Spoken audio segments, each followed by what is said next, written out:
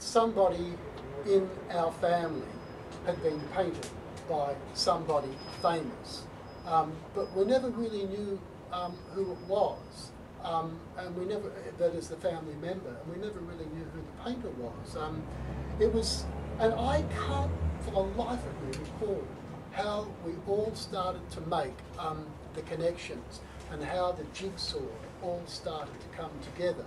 Um, I must have said something to my father at some stage and said, look, who was painted and who painted this person?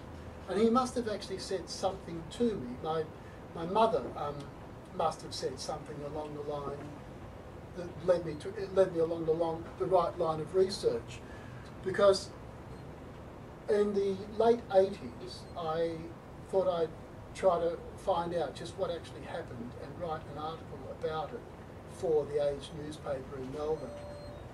And by this stage, I had discovered that it was um, great aunt Katherine, whom I'd never met, who died the year I was born, um, and that the painter who had painted it was in fact Sidney Nolan.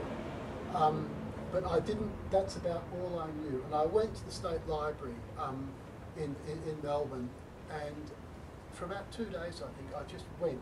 I was told, I must have been told, I can't recall any of this, but I must have been told that it was uh, around about 1946 and so I got the Herald, which was the paper, uh, the afternoon paper in Melbourne, and um, I got um, the microfilm because they didn't actually have it, um, in fact, um, and worked through day by day from the beginning of 1946, um, hoping to actually come across this, this, this article that I'd heard about. And um, I, think after about a day or so, I was just scrolling through, thinking, oh, this is a wild goose chase, and then bang, suddenly there she was. There was Aunt Katherine standing out front of her tent and